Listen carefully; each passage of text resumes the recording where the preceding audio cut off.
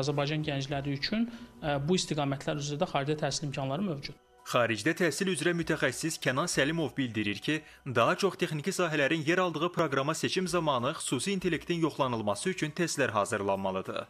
Bütün bu sahələrin hamısının inkişafında dayanan əsas meyarlardan biri innovasiyadır və onların əsasında startapların yaradılmasıdır və s. Nüfuzlu ali təhsil müəssisələrində təhsil alan gənclər daha sonra ölkəyə investisiya gətirə biləcək startaplar da yaratmalıdırlar. Ona görə bu istiqamətə də xüsusi önəm verilməsi yaxşı olardı. Kənan Səlimov qeyd edir ki, dövlət proqramından yararlana bilməyən gənclərin xaricdə təhsil almaq imkanları heç də məhdud deyil.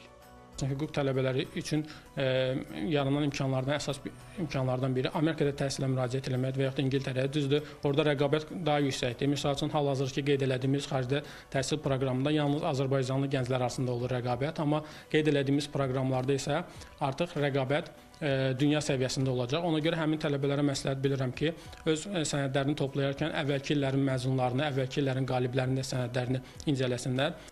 Mütəxəssisin fikrincə, dövlət proqramına seçim edilərkən olimpiada qaliblərinə xüsusi intellektli gənclərə üstünlük verilməlidir. Nərmin Mirvaleh qızı, Cabbar Qaryağdıoğlu, Əkbər Mustafayev, xəbər ertəsi.